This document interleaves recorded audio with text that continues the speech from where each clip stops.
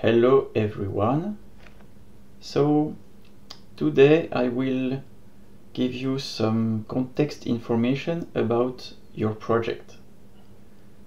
So first I will present you the project as it is usually designed and performed so that you understand in which context you are evolving and developing your own contributions which will be a light version of what is usually carried out by the students.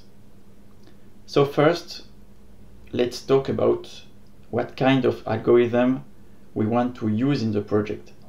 We want the project to be based on fingerprinting algorithms, which require at least locations and samples in the fingerprints. So here the locations will be x, y, z coordinates, which are easy to uh, store. And the samples will be RSSI values that we'll see a bit later how we do. So um, in your samples, you have MAC addresses associated to RSSI values. So what do the MAC addresses stand for? So since we have to identify for a given RSSI value to which device it is related, we have to pair the RSSI value with the measuring device MAC address, which identifies uniquely the measuring device. As for the RSSI, how do we keep them? We keep a list of the RSSI values for each MAC address for each fingerprint. And this list is the raw list of measurements carried out by the measuring device. And then, but only later, it will be post-processed by the positioning server, which will, however, keep all of the values since we can decide to change our algorithm to something more specific, more complex, with more um, values handled. So, for instance, we can start with an average value fingerprint system and then uh, change it with uh, with a histogram based system.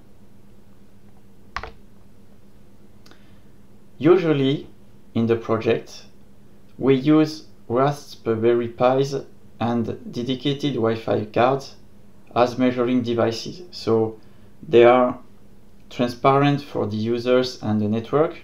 They are like uh, client stations in the network. With Raspbian we can install PCAP library and use it and the Wi-Fi card we chose can add the radio tap header to every frame that the Raspberry Pi receive. So obviously you won't be able to use this because it's in the UTBM building and you won't be able to come back before the end of the semester. So you will have to be sure that at least one member of your project team has a laptop with a Wi-Fi card that can make radio tap headers and be put in monitoring mode to do so. So ideally this person also runs a Linux based system so that every tools is al already available. Then for the mobile devices we have to ID them.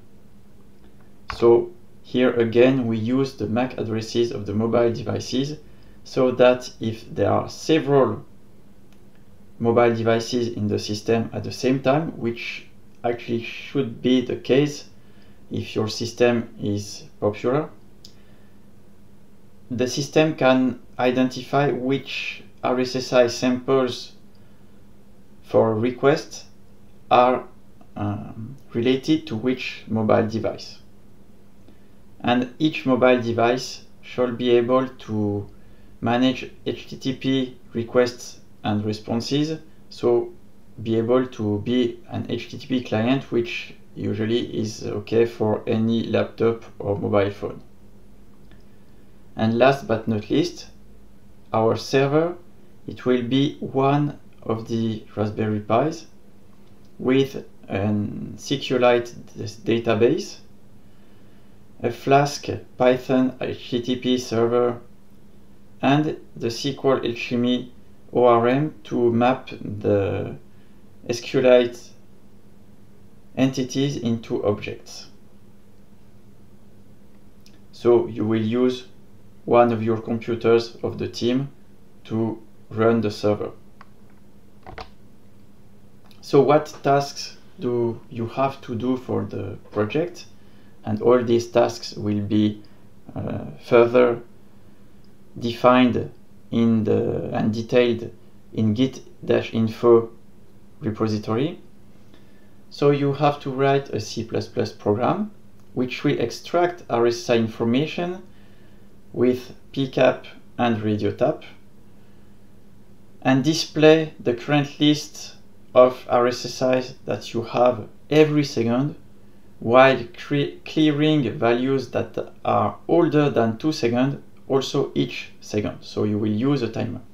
So from the lecture about PCAP and radio tap, all you have to do is glue together a bit of the code extracts that I showed you and that would be okay.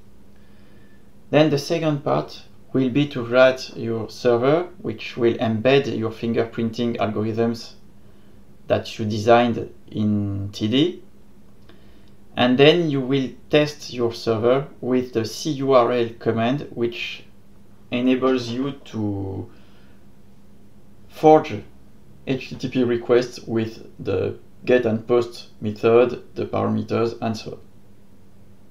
So that's all for today.